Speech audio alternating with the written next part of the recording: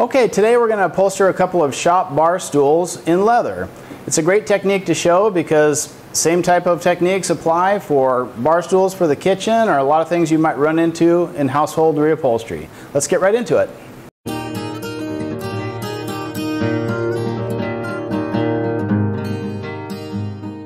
We have a few colors to choose from in our leather. We've got this deep burgundy red color, some greens, but in the end I think it's this mottled brown that'll win the day. So we've selected this for our color. We'll go ahead and start patterning it up and cut those pieces to shape.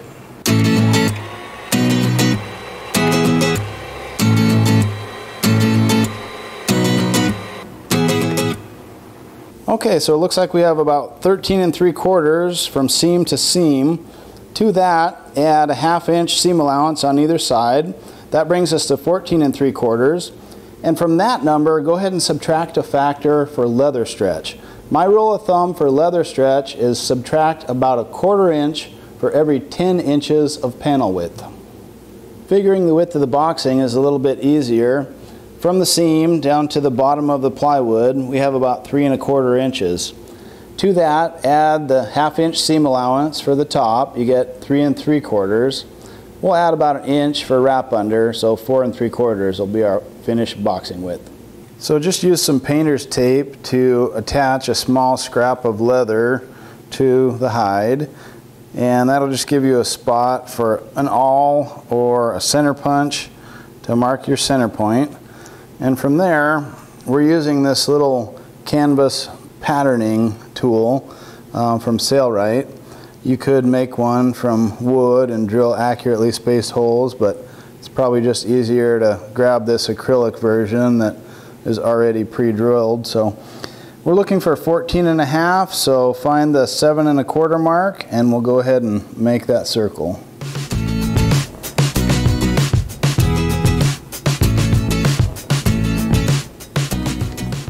A leather marking pen is really helpful for drawing out your parts. It's one of these things that easily shows the cut line, but yet you can wipe it away with a damp cloth. Doesn't leave a permanent mark, so that's nice.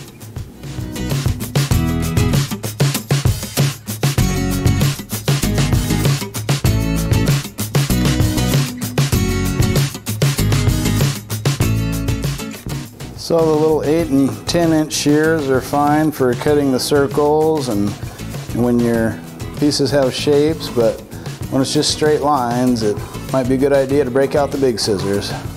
The big scissors. So the circumference we measured around the bar stool was 45 and a quarter and that allows half inch seam allowance on either side we're not going to fully commit to a finished length until we have sewn most of the perimeter of the seam, so we'll leave it about 48 inches for now.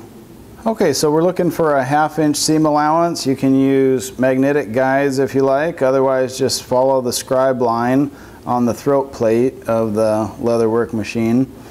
We'll go ahead and hold our threads back to get a few stitches set and we'll also back tack because we're starting about three or four inches from the end of the boxing.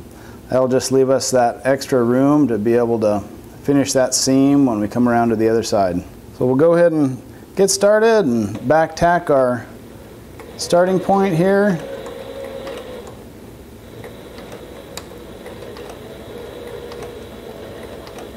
I've got my boxing on the bottom and the round portion of the stool is up top. And so I'm just kind of steering this circle into position so it all gets sewn with a half inch seam allowance. The boxing is really just being fed in by the walking foot. Not much to handle with that. It's more just steering this top round layer. Once you have a few stitches laid, just check that you are getting a good stitch just like your sample and there's no loose threads on the bottom. I'm always amazed how many people go ahead and sew up their whole project before they realize that something's not stitching right. So very important to check your work as you go. And with that Sailrite leather work, we can really just control the process stitch by stitch. I'm not worried about the machine taking off on me at this point. I'm just simply concentrating on aligning my edges as we sew this blind seam. Okay, looks like we're off to a good start. We'll motor on.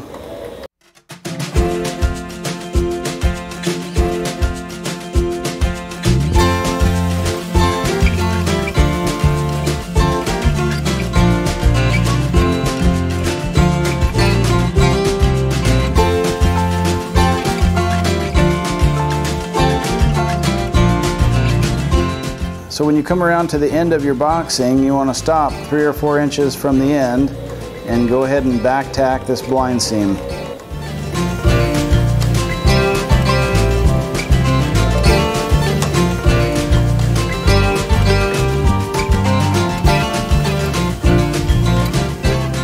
Okay, so if we flip this right side out, we can see that there's a nice seam forming there but it doesn't have a great shape yet. It doesn't have a rigid line, and that's what the top stitch will add. So this is just our initial blind stitch. The top stitch is what will really make this.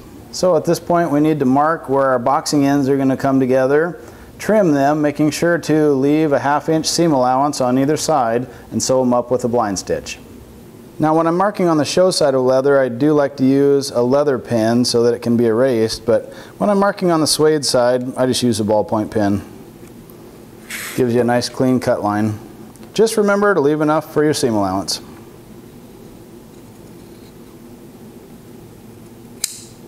Sometimes I'll just use these cardboard strips because they're conveniently half inch wide. It's a nice easy way to strike your sew line. Let's head back over to the sewing machine where we can close up this boxing and finish the perimeter seam. Now with cloth projects you'll probably pin or clip things together but with leather oftentimes you'll want to staple the pieces together just so they don't shift when you're sewing them. These are plier staplers.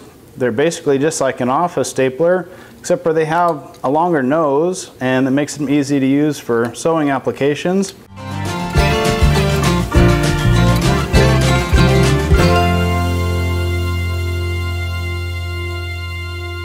Okay, now pull your staples. This will take you about 15 seconds.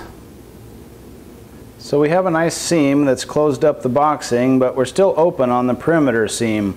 And for that, what we want to do is fold open the seam allowance and staple that in.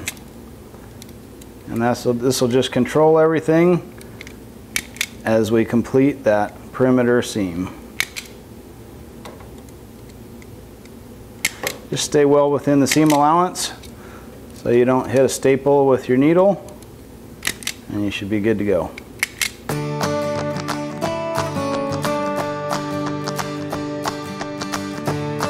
Now once that top stitch is laid in there, it'll really clean up the look. We'll have a top stitch along here, but here it's just a blind stitch. We're not gonna French seam that or anything. What I've found is it really looks the most natural if it's just a simple blind seam where the boxing comes together. Just make sure the seam allowance stays turned towards the boxing side and slightly spread and separate the seam as you make that top stitch. A lot of people are worried about making a top stitch that actually shows, but it's no different than any other seam. Practice a little bit on it. One thing I would say is take a minute to adjust your forward and back stitch length so those are equalized. That way when you terminate the seam you can get the prettiest appearance possible. We have lengthened our stitch length just a little bit. I like 8 or 10 stitches per inch for the blind seams but I increase the stitch length slightly to 5 or 6 stitches per inch for the top stitch and that's just purely because it's decorative. This Sailrite leather work was really put together to sew small leather craft items like belts and wallets, luggage tags, things like that. But you know, this little demonstration just shows that hey, you can do small upholstery projects on it too. Why not? You're all set up for leather with it with a leather point needle and 92 weight thread. Might as well use it for other things too. Like reupholstering some stools. Just going with a nice seal color thread that blends in with this Appalachian Trail leather from Leather Hide Store. It's gorgeous stuff.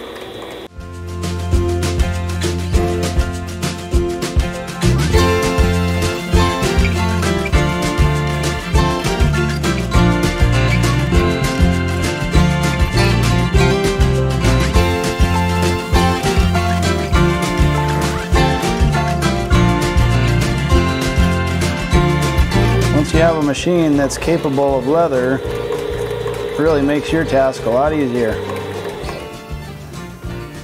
The reason most people think that sewing leather is hard is because they've tried sewing leather on a home machine. Well, sewing leather on a home machine is hard, if not impossible.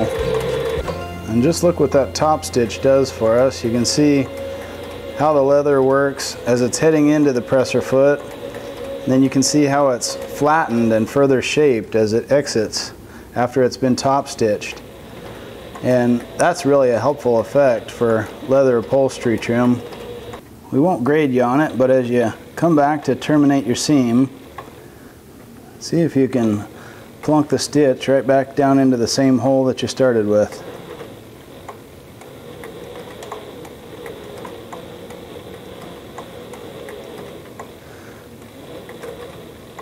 And you can just back tack a couple times. There we go. All done.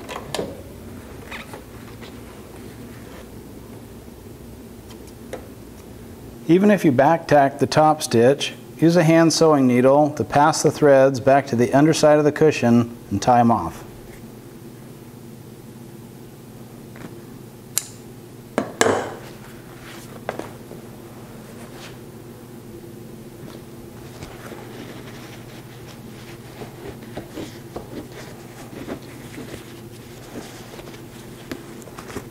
Add a reference line just about 7 eighths of an inch from the outside of the wood base. That'll give you a nice line to pull to when you staple your cover in place. Okay, it's time to staple the cover down. Let's start in the four cardinal directions and then flip it top side and we'll make sure that everything looks centered and straight before we continue. A little bit of pressure down. You don't want to force it, but just see if you can get close to your reference line. Pop a couple on one side and then go directly opposite so you get good natural tension across the cover. There we go. I'm to do one more. Okay. And then we'll work in our other two cardinal directions here. You don't want to tack it down too securely. Treat these first few staples as potentially temporary because if you flipped it topside and you realize, hey, even though I have my reference lines, I'm a little bit lopsided, now would be the time to make that correction. You could easily pull those four or so staples and reset things to start yourself off on the right foot.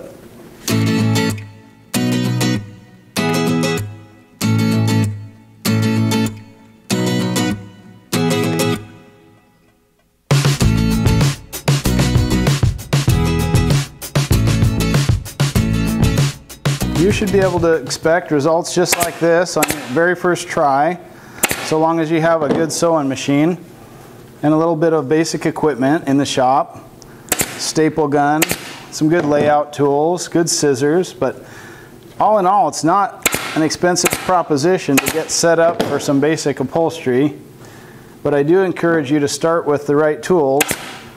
It'll lead to a fun and enjoyable experience rather than a frustrating one, as many people find when they start to set out to do leather upholstery with a home sewing machine.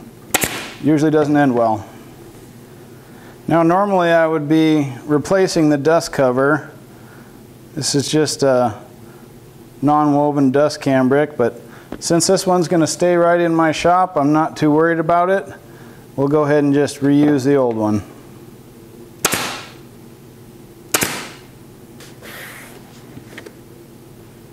Okay, we'll get this little shop stool back in service. It's a fun little project. I hope you get a chance to give it a try yourself. I'm Willie Sandry. Thanks for watching.